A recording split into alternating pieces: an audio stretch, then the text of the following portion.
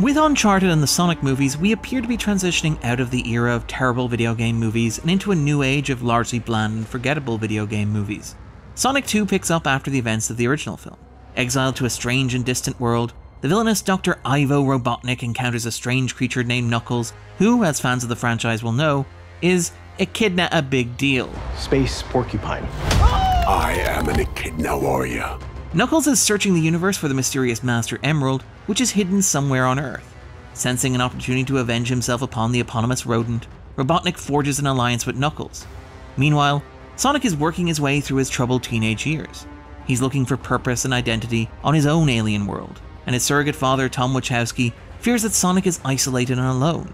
As Tom travels to Hawaii to attend his sister in law's wedding, Sonic is left at home for the weekend.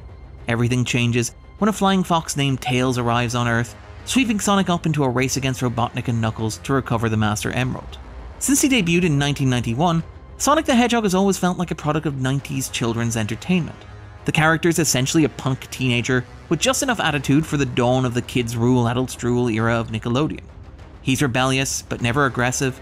He's quick tempered, but never cruel. He's impulsive, but never malicious. He has just enough of an edge to attract children, but not enough of an edge to alienate adults. This perhaps explains why the two Sonic movies to date feel like a somewhat old fashioned approach to family entertainment.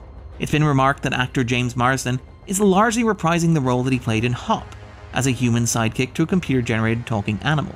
And there is a clear evolutionary line to be drawn between Sonic and the recent Alvin and the Chipmunk movies. Indeed, it often feels like both Sonic and Sonic 2 sidestep the challenge of adapting a video game franchise into a feature film by simply grafting an existing intellectual property onto a tried and tested framework. The result is largely functional, but frequently frustrating. It's an approach that strips out a lot of what makes the Sonic brand unique. The appeal of the Sonic video games has always been more than simply the characters themselves. It is the design of the worlds, the strange logic by which they work, the absurd physics that inform them. To pick an example, the Green Hill Zone was a formative experience for an entire generation of gamers. It's one of the most iconic locales in Western pop culture, so it's strange that Sonic 2 opens with the title character cosplaying the Dark Knight. To be fair, the production team working on Sonic 2 clearly heard criticisms that the original Sonic did not have enough video game lore. The film adds beloved video game characters like Tails and Knuckles. Tails is voiced by Colleen O'Shaughnessy, reprising her role from the video games. Knuckles is voiced by Idris Elba, who uses all the talent at his disposal to try to prevent a red echidna from sounding sexy. However, Sonic 2 assumes that fidelity to the source material means exposition dumps and complicated lore. The bulk of the movie takes place in the same mundane world as the original, including an extended trip to a Siberian bar and an entire subplot about a wedding in Hawaii.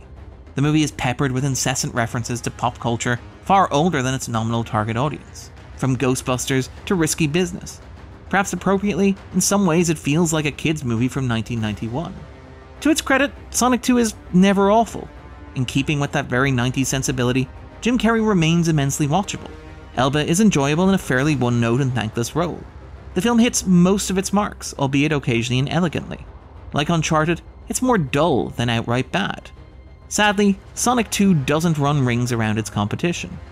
Sonic the Hedgehog 2 is releasing in cinemas on Friday, April 8th.